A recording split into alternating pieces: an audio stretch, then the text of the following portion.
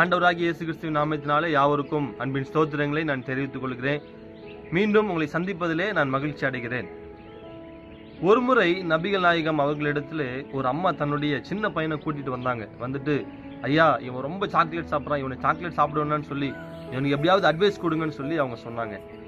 அப்போ நபிகள் நாயகம் சொன்னார் அம்மா நீங்கள் போய்கிட்டு ஒரு மூணு நாள் பொறுத்து வாங்க என்று அவர்களை அனுப்பி வைத்தார். அந்த அம்மா நினைச்சாங்க சரி இவர் யாரோ பயங்கரமா பிளான் பண்ண போறாரு போல அப்படின்னு சொல்லிட்டு அவங்க போயிட்டு ஒரு மூணு நாள் போகிறது திரும்பி வந்தாங்க.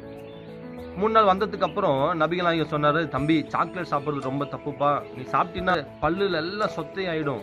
அதனால நீ சாப்பிடாதுன்னு சொல்லி அந்த காரியத்தை சொன்னார். உடனே நம்ம அம்மா ஐயா இதுக்கா ஒரு மூணு நாள் எடுத்தீங்க.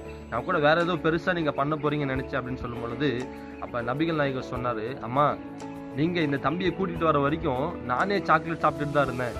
நானே சாப்பிடும் பொழுது எப்படி இவனை போய் சாப்பிடாதுன்னு சொல்ல முடியும். அதனால தான் இந்த மூணு நாள் டைமில் நான் சாக்லேட் சாப்பிட்றதை விட்டுட்டேன். அதனால் இப்போ தாராளமாக என்ன பண்ணலாம்? இவனுக்கு அட்வைஸ் பண்ணலாம் என்று சொல்லி அவர் சொன்னார் எனக்கு அன்பானவர்களே மத்திய ஏழாவது அதிகாரம் மூன்றாவது வசனம் சொல்லுகிறது நீ உன் கண்ணில் இருக்கிற உத்திரத்தை பார்க்காமல் உன் சகோதரன் கண்ணில் இருக்கிற துரும்பை பார்க்கிறதுன்னு என்று வேதவசனம் சொல்லுகிறது.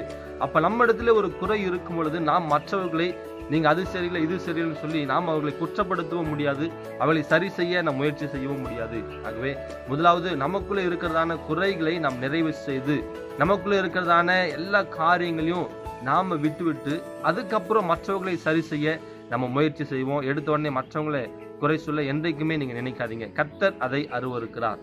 கத்தர் உங்களை ஆஸ்வதிப்பாராக. ஆமென்.